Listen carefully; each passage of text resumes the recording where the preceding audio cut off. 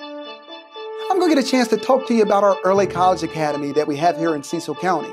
Now, this opportunity is available to all eighth graders going into high school.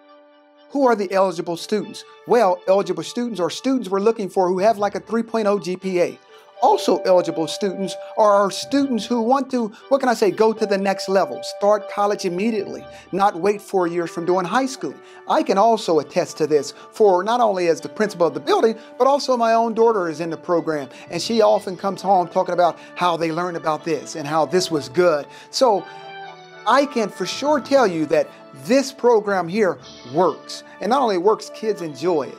How often do you get a chance to earn a high school diploma and a college degree at the same time?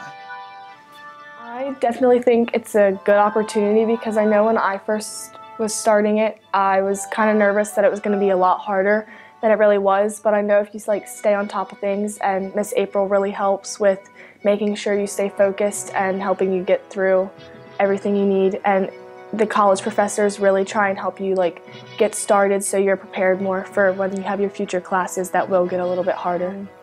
What surprised me was that like how close all of us are. Yeah. Because we're like one family and not a bunch of different people. Like we all help each other.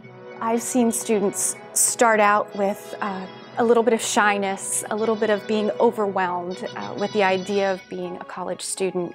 And I see them blossom into um, young adults who are achieving a, a huge goal by getting an associate's degree while still in high school.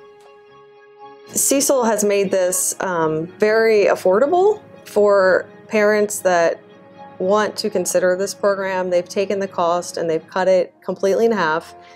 And they've also, since it's a four year program, instead of paying that in two years, you can stretch that out over four, which has been very nice.